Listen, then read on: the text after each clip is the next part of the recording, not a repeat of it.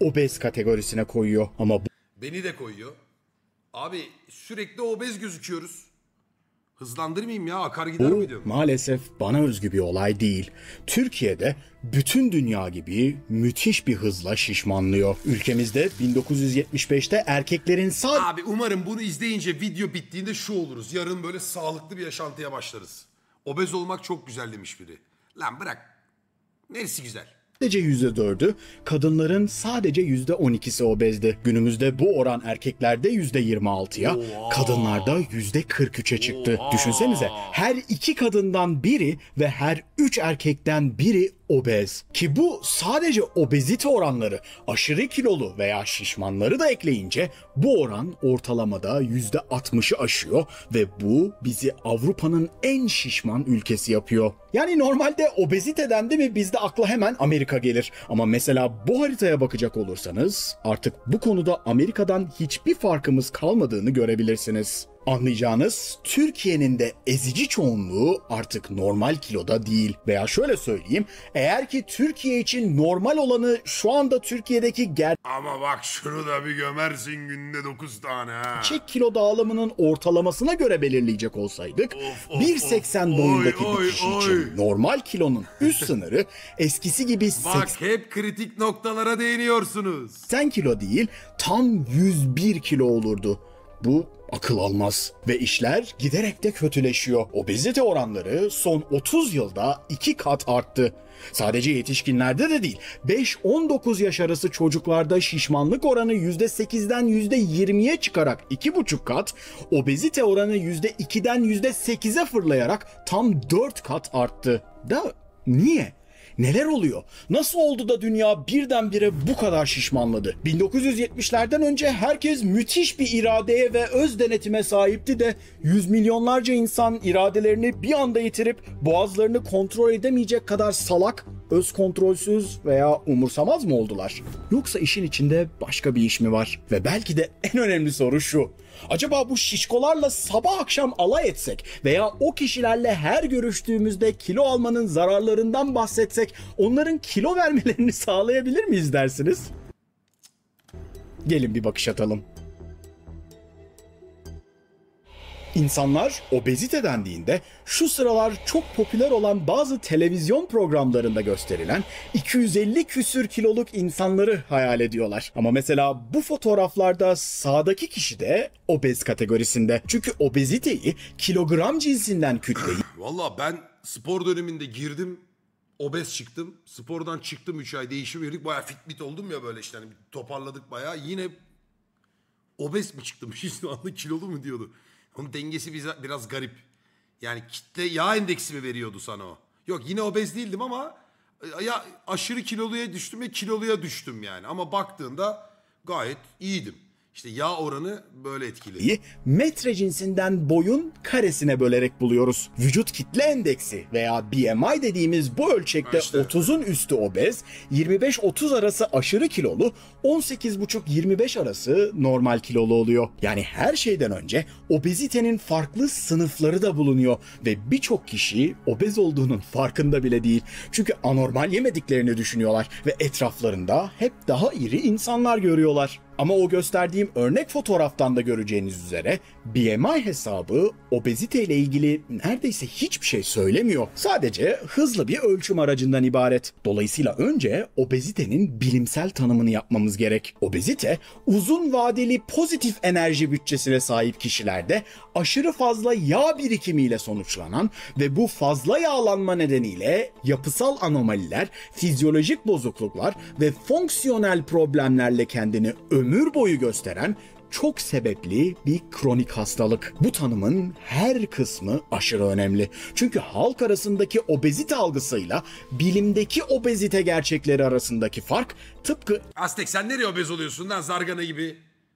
Evrim konusunda olduğu gibi aşırı büyük. Şimdi obezitenin temelinde muhtemelen hepinizin yakından bildiği ve enerji dengesi dediğimiz bir denklem yatıyor. Bu kalori alımıyla kalori yakımı arasındaki denge veya dengesizliğin adı. Bildiğiniz gibi gün içinde yiyecek ve içecekler yoluyla belli bir miktar enerji alıyoruz ve vücudumuzdaki fizyolojik süreçler ve egzersiz gibi yollarla da belli bir miktar enerji tüketiyoruz. E, Abi hareket yok hareket.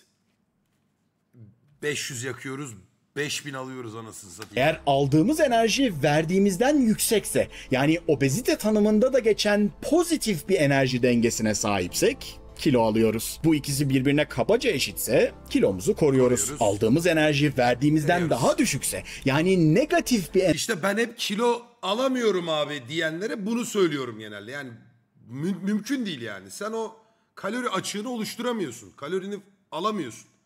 Yok abi ben en az senin kadar yiyorumdur ama bir gram bile alamıyorum diyor herif. Ya mümkün değil yani anladın mı? Çok, çok yakıyor değil oğlum. Sen 7000 kalori, 8000 kalori, 5000 kalori alıp da kilo alamama durumun imkanı yok ya. Ya fazla yemiyor ya da çok hareket ediyordur. Ya da evet sabah akşam enerji harcar. Ne kadar yakabilir ki bir insan oğlum kalori açığı? Ne kadar oluşturabilir? Ulan zaten bir yerden bir yere koşuyorsun ya da bir spor yapıyorsun ortalama ne kadar kalori yakıyorsun? 600 kalori mi? En böyle verimli sporda. 700 kalori mi? Var abi ben. Oğlum yok öyle bir şey. Bak Jevi günde yediğin gerçi ya şimdi diyeceksin ki ben günde 8 hamburger yiyorum 5 pizza yiyorum amına koyayım. Yani metabolizma hızlı olsun. Bakın arkadaşlar gerçekten beni aydınlatın bu konuda. Metabolizman çok hızlı. Şimdi bu hızlı dediğin çok ne? Yani normal bir metabolizma ile çok hızlı bir metabolizma arasında böyle 3 öğün yakacak gibi bir kalori açığı oluşturamaz değil mi? Ağırlık antrenmanında ve ağırlık sonrasında da kalori açığı oluşturuyor. Kasların kendini tedavi ederken de kalori harcıyorsun. Şimdi e bir de yağ yakımı neyle oluyor, oksijenle oluyor falan filan. Bir sürü mevzusu var bunun.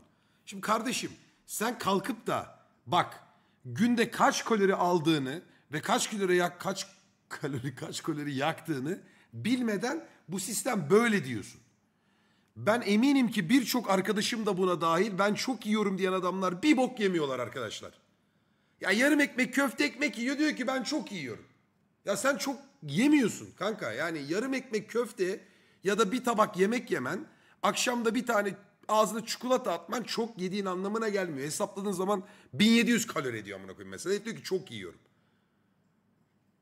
O önemli mümkün değil yani. Bak Aztek iyi yiyordur. Ama Aztek götünde kurt var durmuyor. Midesi bu kadar adamın. Diyor ki çok yiyorum. Ya sen çok yemeği gel benle bir gün aynı şeyleri ye. Her aynı şeyleri yiyebilirse bak harbi söylüyorum. Ne yapayım? Para vereceğim ya iddiaya gireceğim. Hep bu konuda kavga ediyoruz chatte ya. Çok enteresan yani. Abi iş yerinde yanımda çalışan çocuk 3 katım yiyor. Ben tek öğün yiyorum. Çocuk hiç kilo almıyor. Ben tek öğün yesek bile kilo alıyorum. Ya o bir- belki hastalığım vardır oğlum. Tiroidler bilmem neler, cartlar, cutlar onları ben bilemem. Standarttan bahsediyorum arkadaşlar standart. Çok kime göre neye göre? Bu da matematiksel bir hesabı olmalı. Kalori ne? Ne kadar kalori alıyorsun? Bazal metabolizman ne kadar yakıyor? Aradaki fark ne? Bana bununla gelin. 7000 kaloride 1 kiloya tekabül ediyorsa bunun hesabı ortada zaten. 1 kilometre yol yürüyen kişiler 45 ila 65 kilometre, 400 ila 5, 10 kilometre yürüyenler 600 ile 1200 arasında kalori yakımı yapar. 10 kilometre 650. Hızlı tempo yürüse 600 dö- yakar ya 600 falan yakar herhalde. Ha örnek kılaf. O ben yiyorum, yiyorum kilo alamıyorum kilo alamıyorum. Geldi benimle yaşadı. Benim yediğimin yine bir miktarını yakalamaya çalıştı. 14 kilo aldı yanımda 2 ayda. 14 kilo aldı yanımda o çok yiyen adam. Niye? Çünkü bana uyum sağlamaya başladı. Ben bir şeyler yiyince o da yanımda yemeye başladı. Benim mutfağa ayrı gitmelerimi hesaba katmayın. Ya ben gidiyorum adam şu oturuyor bilgisayarın başında ben gidiyorum orada bir çikolata gömüyorum. Ben gidiyorum bilmem ne yiyorum. Ana yemek yiyeceğiz hadi yemek söyleyeyim dediğimizde oturuyor ben ne yiyor? Abi bir 14 kilo da bana alabilir miyim? Bak gel benim yediklerimi ye. Sağlıklı bir kilo alma değil. Sağlıklı bir kilo alma olmayacak bu tabii. Ama net kilo alacaksın. Artık göbeğim mi büyür, kıçım mı büyür, bacağım mı büyür ben onu bilemem. Günde kaç öğün yemek yiyorsun ki? Benim bir öğünüm yok. Yani ben sürekli yemek yiyorum. Ve abuk subuk yiyorum yani. Ben günde bazen 4 öğün yiyorum, bazen 5 öğün yiyorum. Ama bana sorarsanız benim sıkıntım öğünlerim değil. Benim sıkıntım öğünler arasında yediğim abur cuburlar veya sağlıksız şeyler. Mesela ben iki defa aşağı indim. Ayıptır söylemesi, söylemek zor. İki defa aşağı indim. İki inişimde de toplamda 600-700 gramlık sarma bitirdim mesela tamam mı? Sadece aşağı inip çıkmamla. İki tane poğaça yedim. Bu kadar. Bak hiçbir şey yemedim dedim size fark ettiniz mi? Hiçbir şey yemedim. Ben şu açım. Adam geliyor abi ben de yedim sarma ben de yedim iki taneymiş. Ağzına atmış bu kadar serçe parmağı sarmayı diyor ki çok yedim. Bu benim öğünüm değil ki. Burada sıkıntı yaşıyoruz. Ekmek mesela. Abi ben gece dörtte oturup bir tam büyük tost ekmeği bitiriyorum. Yanında da 60 tane zeytin yiyip üstüne de krem peynir abanıyorum. Bir tane lavaş geri bitiriyorum böyle. Gece önüm yatmadan önceki. Bana diyor ki abi ben de seni kadar yiyorum. Ya yemiyorsun kanka sen evde ne çıkıyorsa onu yiyip hadi en fazla ikinci tabağını yiyorsun o kadar. Oha işte şimdi oha oluyor abi ben yalan konuşmuyorum ki işte bu çok yemek. Bu 6000 kaloriye 5000 kaloriye falan tekabül ediyor. Şimdi ne oluyor bende vücutta? Hareket de etsem bu kadar yediğim için şimdi ufak ufak vücut her gün her bir haftada bir bir kilo bir kilo almaya başlıyor bende. Sonra bir nokta geliyor siz diyorsunuz ki abi sen kilo almaya başladın? Bir, bir nokta geliyor abi davul gibi olmuşsun diyorsunuz. Haklısınız. Ondan sonra diyorum ki oğlum ben ne yaptım kendim amına koyayım. Hani sağlık açısından da iyi değil. Biraz toparlayayım diyorum. Diyete başladığım an ne kadar çok yediğimi fark ediyorum. 2500 kalori bana yemek veriyorlar. Al ye koçum senin boyun, kilon, bazal metabolizman bunu destekliyor diyor. 2500 kalori yiyince diyorum ki ben açım. Yemek yemem lazım. Demek ki kaç alıyorsan ayı 2500 sana yetmiyor. İşte oradan patlıyor. 2 metre adam falan değilim oğlum.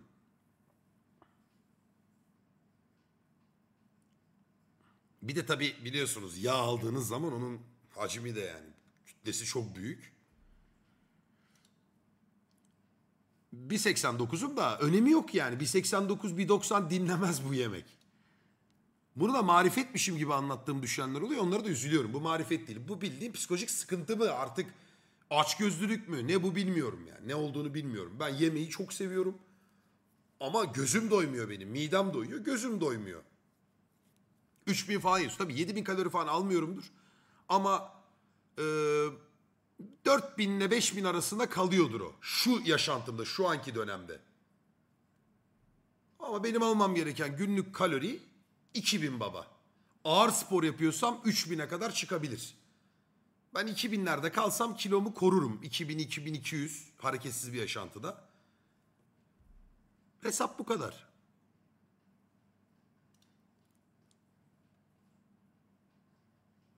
Ya günde mesela çok yiyorum diyenler 3, 3 litre 4 litre kola içiyor musunuz? Mesela ben kendim bildim bileli günde 3-4 litre kola içiyorum günlük. Bildim bileli ama yani. Hani bu or, ortaokuldan beri böyle. Şeye soruyorum hepinize değil. Bunun hepiniz tarafından tüketilmediğini biliyorum. Çok yiyorum, çok yiyorum, içiyorum diyenlere soruyorum. Her gün. Her gün mü peki değil, her gün. Ben dün markete gittim. Bundan dört tane aldım. İşte bir sonuncu galiba bu. Bir de yanda da kutu genelde Sprite çok içiyorum. Neyse uzun lafın kısası lütfen 2 gram kalori alıp da ben çok yiyorum kilo alamıyorum demeyin saynacım. Nasıl kilo alıyorsunuz? Nasıl yapabiliyorsunuz böyle bir şeyi? Ne niye yapabiliyoruz? Yiyoruz çünkü. Enerji dengesine sahipsek kilo veriyoruz. Peki niye? Ne oluyor da bu enerji dengesizliği kilo alımına veya kaybına sebep oluyor dersiniz? Ya çok şükür kan tallerimde bir sıkıntı yok zaten biz Ertanlarla o spor döneminde şu yaşadığım hayatı onlara anlatınca o diyetisyenlerin ve Ertan'ın yüz ifadesini görmeyen yani yalan söylüyorum sandılar yani e, bu bir haftadır falan böyledir diye düşündüler. Bütün hayatımın böyle olduğunu kestiremediler tabii. Sonra kan tahlillerime bakınca e, artık orada genetik mi devreye giriyor ama ne kadar dayanır bilmiyorum o genetik. Yani böyle bir yaşantının kan değerlerinin bu olmaması lazım. Şimdi bende hasarlar var. Yok değil. Ne var? Kolesterol var mesela. Sınırda. Ondan sonra insülin direnci biraz sakatta. Yani bir sıkıntı yok ama hasarlı hafif. Ee, bir de tiroidlerimde bir hasar var. En tehlikeli şeyler bunlar bu arada. Üç tane saydım da. Bak bunu şunu demiyorum size. Bak ben böyleyim ama bu kadar da sağlamım demiyorum. Şu yaşımda onlar artık direniyor. Yani diyor ki bak kardeşim sistemin bu yıllardır böyle yaşıyorsun ama bir yere kadar dayanabileceğim diyor. Her şey var diye yok oğlum. Her şey var diyemeyiz ona. Yani doktor da görüyor onu. Diyor ki yani kolesterolüne biraz dikkat etmen lazım. Bir de çok mu şeker tükettin sen bu aralar diyor. Ulan bilse günde iki tane, üç tane böyle milka bitiriyorum amına koyayım. Yok çok tüketiyorum zaten diyorum. Adam da söylüyor. Senin bu kadar yemeye kan değerlerinin hala hasar görmemesinin ya da böbreklerinin vesaire hasar görmemesinin sebebi genetiğin. Tamam ama genetiğin seni bir yere kadar tutacak. Çünkü yaşın artık 28 olmuş diyor yani. Bunun sonrası tehlikeli diyor. Tamam diyorum ben de. Şöyle, vücutta bir kalori fazlası olduğunda vücudumuz bunu öncelikle kaslarda ve karaciğerde glikojen dediğimiz bir depo molekülüne çeviriyor. Glikojen gerektiğinde çok hızlı bir şekilde glikoza yani şekere çevrilerek vücudumuzun o anda ihtiyaç duyduğu enerjiyi sağlayabiliyor. Ama vücudumuzun Abi şu an çok teknik bilgiler bizim hoşumuza gitmez. Kilo verince yağ hücre sayısı değişiyor mu? Yakılan yağlar nereye gidiyor? Al bak bu herkesin merak ettiği bir şey. Burası enteresan. Diyorsunuz. Bu arada yakılan yağların nereye gittiğini merak ediyorsanız onu da söyleyeyim. Yağ molekülleri parçalanıp yakıldığında ufak bir kısmı vücuttan ter olarak atılıyor. Çok Ama çoğu kısmı oksijen. Büyük bir kısmı ise karbondioksit Ay, olarak karbondioksit, nefesimizle havaya atılıyor. Yani yaktığınız kalorileri bildiğiniz soluyarak vücudunuzdan atıyorsunuz. Bu bence çok çılgın. Ama işin asıl korkunç kısmı şu. Vücudumuzdaki yağ hücrelerinin sayısı başlangıçta oldukça az oluyor. İşte bir bebeği dombili yapacak kadar. Ama eğer Video ses çok mu? Pardon söyleyin. eğer ki bir çocukta sürekli kalori fazlası oluşur da ekstra yağ deposu üretmeye ihtiyacı doğarsa bu adiposit hücrelerin sayısı da giderek artmaya başlıyor. Ve maalesef ergenlikle birlikte bu hücrelerin sayısı %10'luk bir oynama payı haricinde hiç değişmiyor. Dolayısıyla yetişkinlikte kaç tane yağ hücresiyle baş edeceğiniz ta ergenlik kilonuzla direkt olarak belirleniyor. O Dur bir dakika dur. Ney ney ney? sürecinde hiç değişmiyor. Dolayısıyla yetişkinlikte kaç tane yağ hücresiyle baş edeceğiniz ta ergenlik kilonuzla direkt olarak belirleniyor. O nedenle günümüzde birçok beslenme bilimci için yetişkin birini obeziteden kurtarmak adeta kazadan sonra yaralıları iyileştirmeye çalışmaya benziyor. Halbuki önemli olan başta kazaya Oo yarası. Böyle izleyince de insanın canı çekmiyor ha. Farkında mısınız? Böyle izleyince böyle bir şey oluyorsun. Lan yani. Sebep olan faktörleri ortadan kaldırmak. İşte obezite araştırmalarında da önemli olan her 10-15 acaba? Ama yıl akar ya. da bir ikiye katlanan çocukluk obezitesini durdurabilmek. Ve ne yazık ki biz Türkiye'de bu mücadelede hiç başarılı değiliz. Türkiye'de şu anda var olan çocukların %80'i yeterli fiziksel aktivite sergilemiyor. Arkandan ağlar oğlum. Bak bunu ikinci tabağını yemezsen sana oyun oynamana izin vermem oğlum. Bunu yiyeceksin oğlum. Tosun olacaksın oğlum. Niye diye daya babam daya babam. Hop helikopter geliyor uçak geliyor. Hop bakalım şunu da göm buradan. Yar ekmeği ortadan göm. Yesin yesin büyüsün. Blue çağında ergenlik çağında. Ama yediği şey de karbonhidrat öyle. Ülkemizde 1993'te Ha boyun kısa kalır falan. Bak Aste'ye boyun kısa kalır kısa kalır diye dayamışlar makarnayı. Çocuk 1.92 oldu. Çocukların %5'i kiloluyken 2013'te bu oran %12'ye çıktı. 2022'de yapılan bir çalışmada ise 8-12 yaş arası çocuklarımızın %15.7'sinin obez olduğu tespit edildi. Şişmanları da katınca Yalnız hamburger baba hamburger ha. Bu ne bu ya? bu oran ikiye katlanıyor. E yağ dokuda ne var da bu kadar problem yaratıyor diye sorabilirsiniz. Burada insanlarda yaygın olan bir diğer hatalı konuyla karşılaşıyoruz. Yağ dokusu sandığınız kadar pasif bir doku değil. Yani tek işi yağı depolayıp da ihtiyaç halinde vücuda enerji sağlamak değil. Ney? O zaman Yağ dokusu leptin ve anjiyotensin gibi hormonlarla kişinin besin alımını etkiliyor. TNF-alfa ve interleukin 6 gibi moleküllerle insülin hassasiyetini ve enflamasyon süreçlerini kontrol ediyor. Pay 1 ve ASP gibi moleküllerle ise diğer organ ve sistemlerin kimyasal yolaklarına müdahale edebiliyor. Bunlar nedeniyle yağ doku artık bir endokrin organ olarak tanımlanıyor. Yani bildiğiniz hormon Türkçe meali nedir? hormon sisteminin bir parçası. Dolayısıyla yağ dokusu arttıkça o dokunun vücudunuz üzerindeki hakimiyeti de artmaya başlıyor. Bu fazla kilolarla birlikte gelen yağlar genellikle iki yerde depolanıyor. İlki sübkütanoz dediğimiz derinin hemen altında biriken yağ. İkincisi ise Oo. visceral yani organların etrafında İşte bu tehlike. biriken yağ. Sübkütanoz yağ vücudunuzun genel olarak şişmanlamasına neden olurken visceral yağ göbek çevresinin artmasına sebep Benim göbeğim ben six pack'li olduğum iş ya. Benim göbeğimde yağ en az en az yağ göbeğimde var yani. Ee, daha çok ben yağları e, sırt bel bölgemde tutmayı seviyorum. Yani şu simitler en güzel depo alanı. Hamster yanağı gibi amına koyayım. Böyle burada topluyor. çok sinir oluyorum ona da ya. Bir de en zor giden yağa uyuz oluyorum. sebep oluyor. Çünkü özellikle de karın boşluğunda birikerek hem içe hem dışa doğru basınç uyguluyor ve bu bölgedeki hacminizi genişletiyor. Ayrıca karaciğer, böbrek ve kalp gibi organlarınızın ve damarlarınızın etrafını sarıp onlar üzerinde baskı kurarak bunların verimini düşürüyor. İşte bu nedenle Sen yüzünden kilo alıyorsun. Hayır. Ben her yerimden kilo alıyorum. E, yüzümde hemen belli olur ama benim bütün vücudum aynı anda kilo alıyor. O yüzden çok kilo aldığımı geç fark ediyorum. Yani benim 13 kilo almam mesela fark edilmesi bayağı bir süre çıkıyor. Hafif böyle göbeğim çıkıyor, hafif böyle memem çıkıyor, hafif buram çıkıyor, şuram çıkıyor, yüzüm şişiyor. Bir tartılıyorum 11 kilo oynamış. Mesela dikkat edin birçoğunuzun ailesinde böyle zayıf olan insanlar vardır. Göbekleri hemen büyür böyle. Kimisinin baseni kıçı çok büyür. Kimisinin yüzü çok büyür, vücudu inceciktir. Benim her yerden alıyor anasını satayım. Hani göbeğimden alsam sadece basarım anasını satayım şeyi.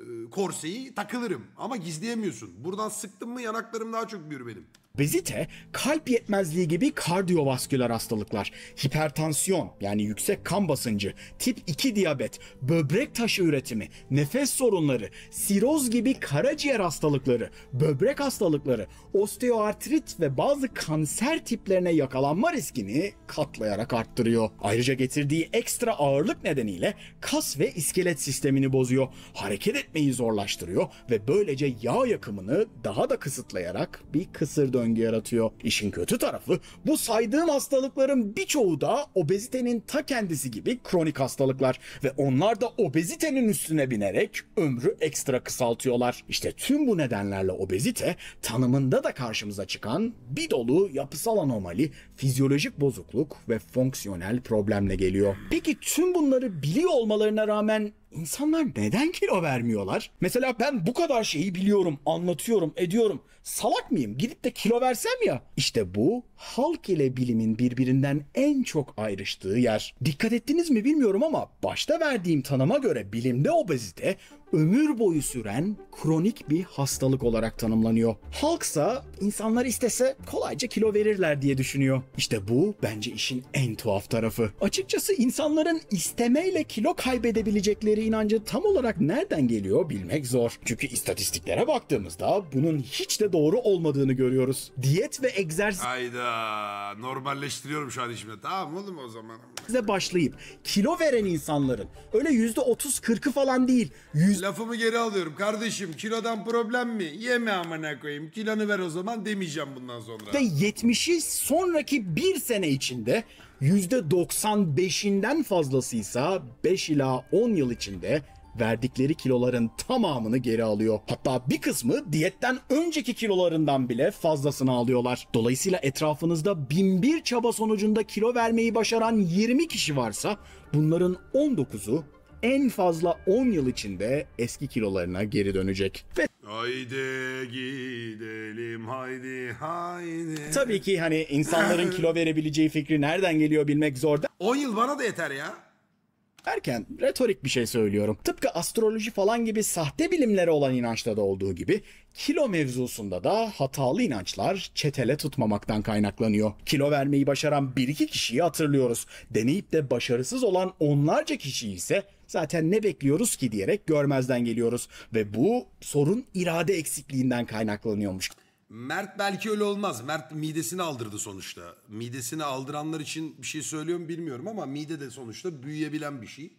Ama o kadar kısa sürede olacağını düşünmüyorum onu. bir algı yaratıyor. Halbuki herkesin içinde dalgalandığı bir kilo aralığı var.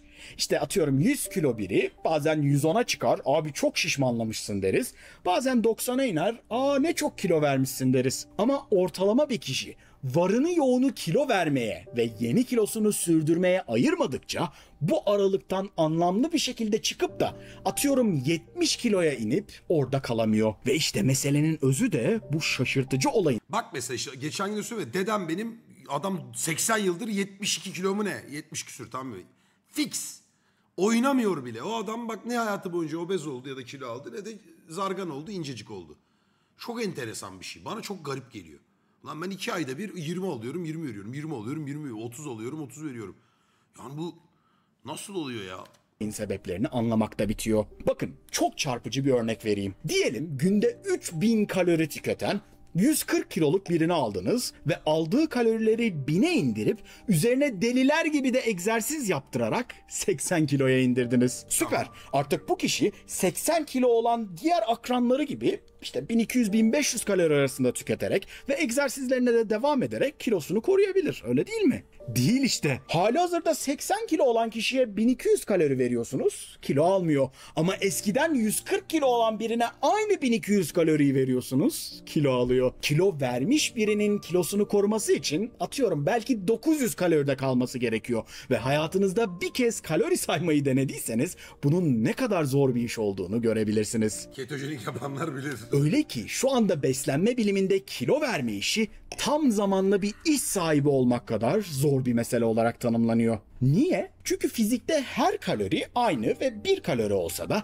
biyofizyolojide işler öyle değil. Kalorinin hangi besin kaynaklarından alındığı, başka ne tür besinlerle birlikte alındığı, kişinin genetik ve fizyolojik özellikleri gibi birçok faktör o aynı bir kalorinin farklı kişilerde ne tür değişimler yaratacağını belirliyor. Mesela kimsenin ağzından düşmeyen şu metabolik hız, daha doğrusu Keşke konuşmasaydık konuyu amına koyayım. İzleyip konuşsaydık ya. Bazı şeyler şu an canımı sıkmaya başladı ya. metabolik faktör kavramı işte burada devreye giriyor. Bir kişinin kilosu başına yakabildiği kalori miktarını metabolik faktör dediğimiz bir oranla ölçüyoruz. 2016'da yapılan bir çalışmaya göre normal kilolularda metabolik faktör 12.8 kalori civarında, şişman kişilerde 10.6, obezlerde ise 8.3 civarında. Görebileceğiniz gibi bir kişi ne kadar kiloluysa kilosu başına o kadar az kalori yakabiliyor. Bu durumda bu kişilerin kilolarını ortadan kaldırarak kilo yakım oranlarını arttırabileceğimizi düşünebilirsiniz.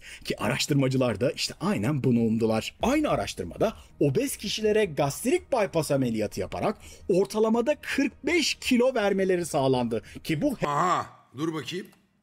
Bypass ameliyatı yaparak ortalamada 45 kilo vermeleri sağlandı ki bu hepsinin ortalaması. Bazıları 50-60 kilo kaybetti. Buna rağmen ameliyat sonrasında bu hastaların metabolik faktörlerinde istatistiki hiçbir değişim yaşanmadı. Yani obezlerin vücudu adeta obez olmaya programlanmış gibiydi. Bu durum sizin de çevrenizde illaki bulunduğunu tahmin ettiğim her şeyi yiyip de şişmanlamayan veya su bile içse kilo alan kişileri de izah ediyor. Bir kişi gerek çocuklukta ürettiği adipositlerin sayısı nedeniyle gerekse de birazdan değineceğimiz genetik ve çevresel faktörlerden ötürü şişman olmaya sevk edildiğinde sonradan zayıf olmak istese bile yağ dokusu buna izin vermemek için elinden gelen her şeyi yapıyor. Yaptığı en problemli şey ise kilo kaybetmeye çalışan kişilerin yağ dokusunun ürettiği hormonlarla beyne sürekli olarak vücudun yeterli enerji almadığını söylüyor olması. Bu da durmadan açlık, huzursuzluk, anksiyete, öfke gibi negatif hisler yaratıyor ve kilo kaybına engel olmanın ötesinde bir dolu fizyolojik ve psikiyatrik problemi de beraberinde getiriyor. Bunları yenmek belki imkansız değil ama ona gerçekten çok yakın. Zaten şunu düşünün. son 40 yıldır Oğlum ne kapsamlı konuymuş la. herhalde trilyonlarca diyet üretildi öyle değil mi? Yok keto diyeti, yok paleo diyeti, yok Atkins diyeti, yok Dukan diyeti, yok uçanı kaçanı affetmem diyeti bilmem ne. Bunların bir tanesinin bile evrensel başarıya ulaşamamış olması sizce tuhaf değil mi? Çünkü bu diyetlerin çalıştığını iddia edenlerin Dukan diyetini yıllar önce ya ben o yapmıyorum artık. iddiası doğru olsaydı muhakkak bu bilgi kulaktan kulağa yayılır, denendikçe ispatlanır ve obezite oranları düşer, herkes sağlıklı kilosuna geri dönerdi. Onca reklama, tanıtıma, kitaba, videoya rağmen böylesine ezici bir başarı görmüyoruz. Niye? Çünkü bunların hepsi çok kısıtlı popülasyonlarda işe yarayan, çoğu durumda uzun vadeli uygulanması mümkün E, Sürdürülebilir olmaması ile ilgili yine konu bağlanıyor. Çok doğru bu arada ya. Sürdürülebilir olmadığı için Allah Allah dur bakayım. Limon FC'nin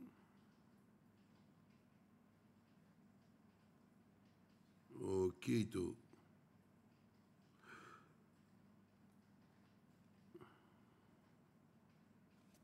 Çiki çiki ba- bari.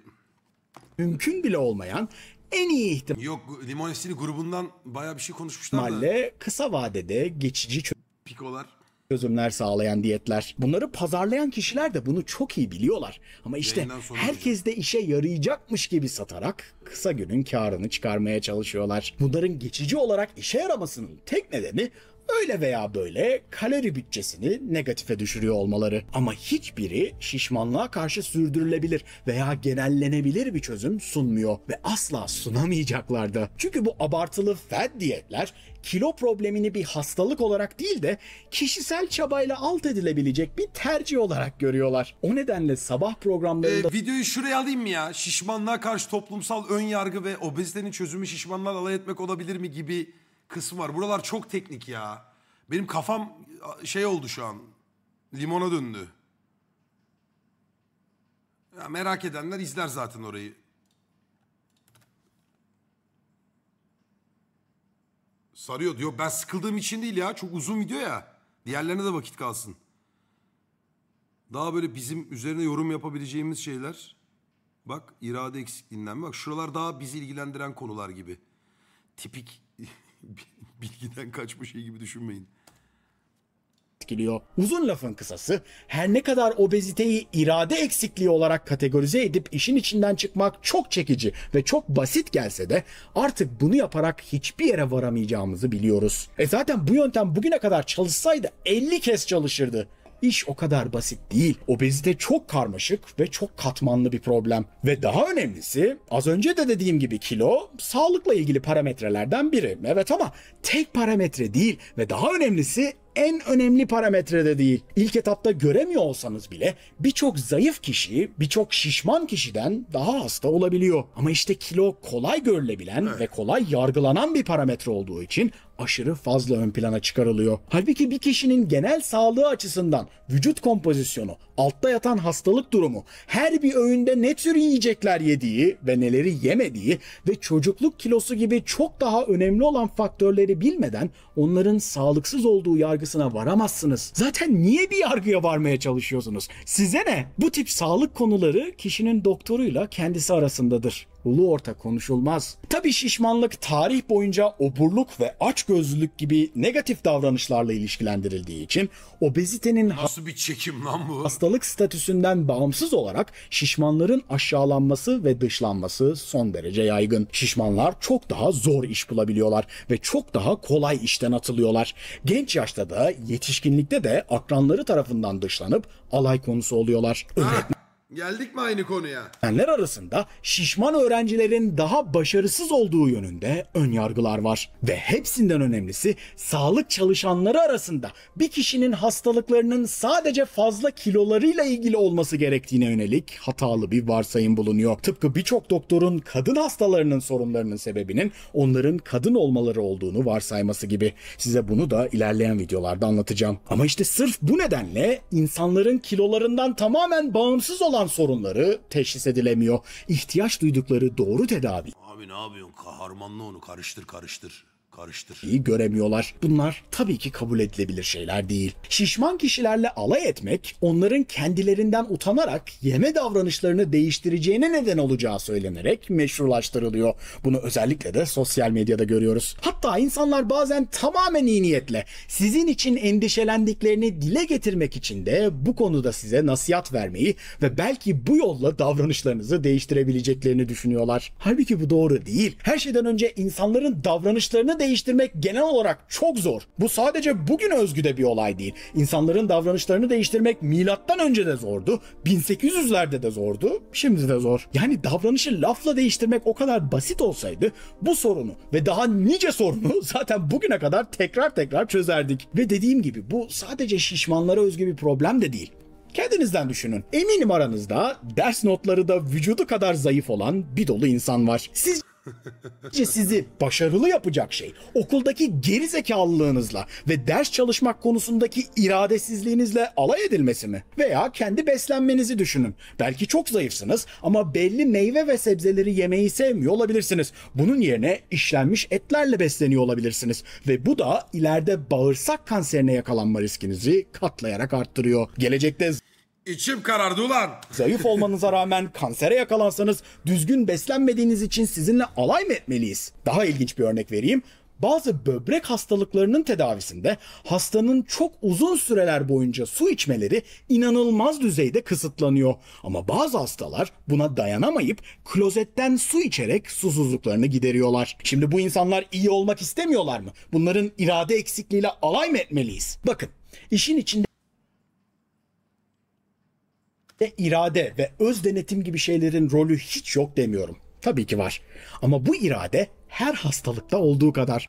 Bir dakika bir kameradan bir şey bakacağım.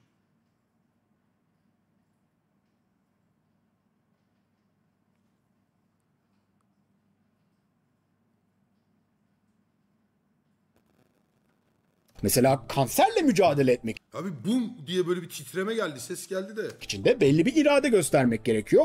Obeziteyle de. Ama ikisinde de sorunu çözen şey irade göstermenin kendisi değil. İlaçlar, ameliyatlar ve biraz da şans. İşin kötü tarafı kanserlerin birçoğu artık kalıcı olarak tedavi edilebilirken tıpkı diğer kanser türlerinde olduğu gibi obezitenin de şu anda kesin bir tedavisi bulunmuyor ve var olan idare yöntemlerinin hepsi ömür boyu uygulanması gereken aşırı zor şeyler. Daha önemlisi de şu. Alay ve aşağılama yoluyla kitlesel ölçekte kalıcı bir şekilde iradenin tetiklenebileceğini ve değişimin sağlanabileceğini gösteren tek bir veri kırıntısı dahi yok. Daha ziyade şu oluyor. Bu tür aşağılamalar belki çok çok küçük bir azınlığı motive ediyor olabilir. Evet ama özgüveni görece yüksek. Kilosunun karakterinin bir göstergesi olmadığını bilen kişileri zaten hiç etkilemiyor. Sonunda da mesaj var Yok. Sonuçta olan ihtiyaç duydukları yardımları alamayan İnsanları kilolusuyla yargılamayın. ve hatta ciddi zihinsel hastalıklara yakalanmaya itilen daha kırılgan ve hatta daha hasta olan kişiler oluyor. Bunu yapmamak lazım. İşte böyle.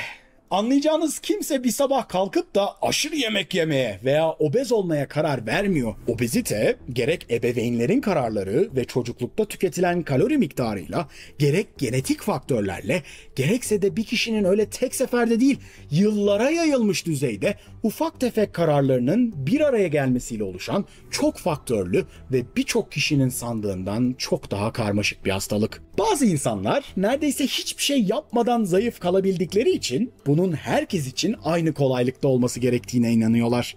Ama bu doğru değil. Bir kişinin kilosu ve onun sebepleri fazlasıyla kişiye özel bir mesele. Ve sayısız kişi hali hazırda kiloları nedeniyle çok ciddi sorunlar yaşıyorlar. Ve bununla mücadele de etmeye çalışıyorlar. Ama türlü türlü sebeplerle başarısız oluyorlar. Hatta o kişiler sizden daha bile az yemek yiyip sizden daha sağlıklı bile besleniyor olabilirler. Ve Evet Emre dinledim. Yani aslında benim böyle şimdi tam aynı şey mi bilmiyorum ama aradaki kalori açığı işte e, ne bileyim sen o kadar az yiyorsun çok yiyorsun muhabbeti yaparken de biraz teknik girmek gerekiyormuş. Ama benim söylediğim şey yine tam aynı şey değil. Yani ben çok çok fazla yiyorum kilo alamıyorum diyen arkadaşların çoğu çok yemiyorlar. Bak bunun altına imzamı atarım. Atarım baba.